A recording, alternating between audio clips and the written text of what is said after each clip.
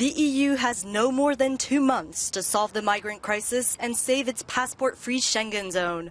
That was the stark warning European Council President Donald Tusk gave on Tuesday. He was speaking to the European Parliament in Strasbourg ahead of an EU summit in March that will focus on the continent's worst refugee crisis since World War II. The statistics over the Christmas period are not encouraging, with over 2,000 arrivals to the EU per day, according to Frontex. The March European Council will be the last moment to see if, if our strategy works.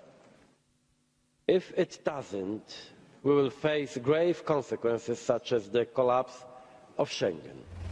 This week, Austria became the latest EU country and member of the Schengen area to tighten border controls. 500 troops will be deployed at the main crossing point between Austria and Slovenia to check all migrants and their bags.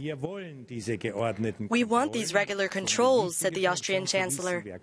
They're important because they aim to know who's coming and they offer a chance to send back refugees who do not want to apply for asylum and who are not willing to cooperate.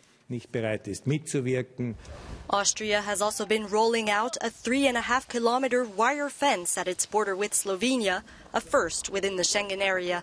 And Hungary says it stands ready to build one at its border with Romania any day if migrants switch to that route.